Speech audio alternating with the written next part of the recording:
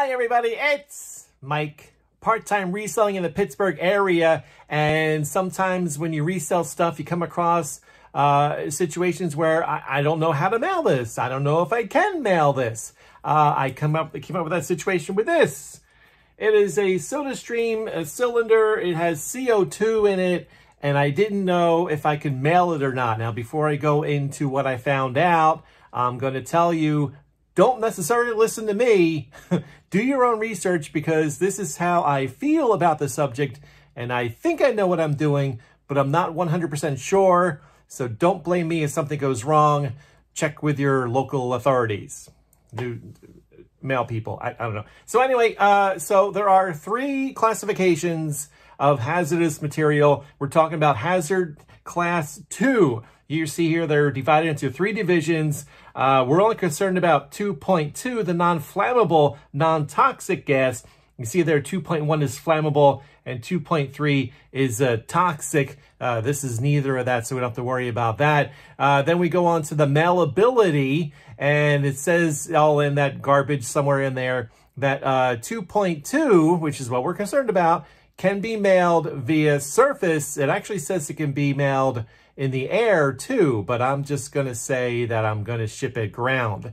So as far as I know, you can ship CO2 cylinders through the United States Postal Service and just to be on the safe side, just do it via ground. Now I checked with my local post office and they're like, I don't know, check the website. I don't think we can mail it at all. Like, so I went to a, a different uh, um, uh, post office and after I found out all the information I just told you, and the clerk there uh, tended to agree with me. Yes, it looks like you can mail hazardous classification 2.2 through the mail, although she said not through the air, just through ground. So there's a little, I, I came up with that you can do it both, but just keep it ground. I, also went to UPS, and they also said, no, we don't ship that at all.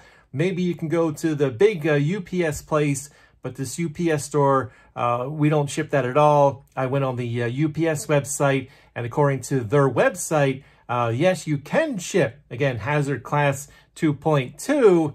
Uh, there's lists there, and you can see on this other list here, this is stuff that you can't send UPS. So uh, you can send it UPS from what I gather, but uh, not at this particular store. I don't know if the UPS stores, they make up their own uh, rules and regulations, and they said, uh, you know, we don't want to deal with this, so we're not just not going to accept it. But if I went to a regular, you know, UPS facility. I don't know what they call them. Uh, maybe I could ship it from there. I'm not sure, but at any rate, uh, again, check with your with your local UPS. All right, so oh oh, and I asked about what because you see here, uh, let's get this little thing on there. Uh, here, show you a, a bigger version of it. I asked, uh, do I have to put anything on the package to say, you know, this is class two non-flammable gas? And the uh, clerk at the uh, post office said, well, no, just tell us what's in it. You know, when they when you ship something and they're like, is there anything fragile, liquid, and all this other stuff? Uh, she just says, just just tell them that it's it's a CO2 canister. So there you go. Again, don't take my word for it. Do your own research.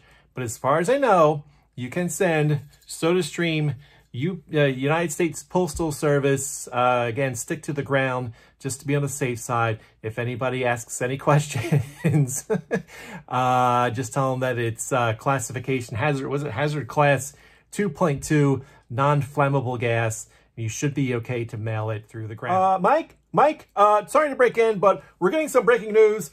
Things I forgot to mention after I finished the video. Um, if you remember back on one of the pictures, uh, you cannot ship gas internationally from the United States. So if you do the eBay Global Shipping Program and you do have a canister that you want to ship, make sure you uh, are not including it in the program when you make your listing.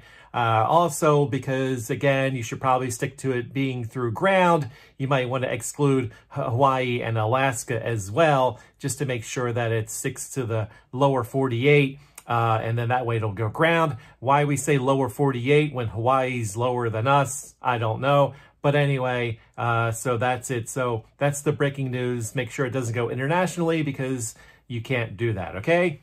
Mike, back to you. Okay, so if, if you come across that, uh, by the way, I got this for a dollar at an estate sale and then I decided to try to figure out if I could mail it or not. Might want to do the other way around. Uh, anyway, uh, that's it. Uh, thanks for watching. I appreciate it. I'll talk to you later. Bye.